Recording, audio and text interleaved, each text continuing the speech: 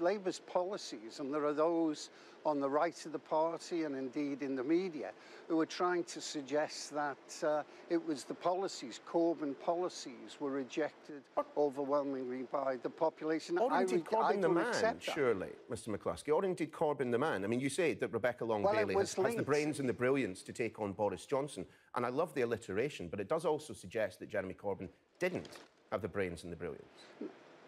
No, I think the reality, and if I have to keep repeating this, then you'll have to forgive me.